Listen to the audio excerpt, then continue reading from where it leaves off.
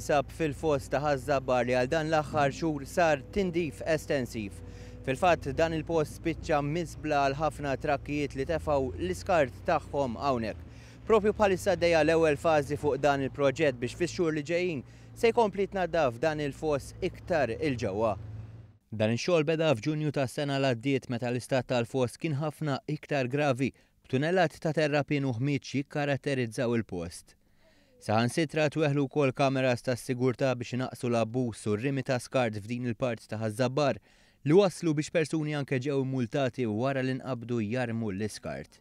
Issa t-tindif reġa' beda tul il-jum tal-Ħamis li għadda u mistenni jitkompla tul il-ġimgħa li ġejja biex b'hekk tkun tnaddfet għal kollox l-ewwel parti tal-foss Kif spjega tajjeb Ryan Rapa, uffiċjal fi ħdan il-Cleansing Department. Hekk hu, nistgħu ngħidu bdejna l-ewwel fażi ta' tindif, bdejna qisu l-ġimgħa l-oħra, bdejna mixjin mill-ġewwa, qed inneħħu t-terrapien u l-ħmieġ kollu li li hawn.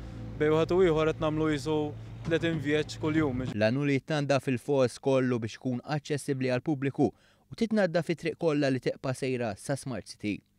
Intant, il-Wasteserv qed tkompli tħeġġeġ lin-nies biex jagħmlu użu mis-Civic Amnity Sites tagħha li huma bla ħlas u li qegħdin imxerrdin ma' Malta kollha.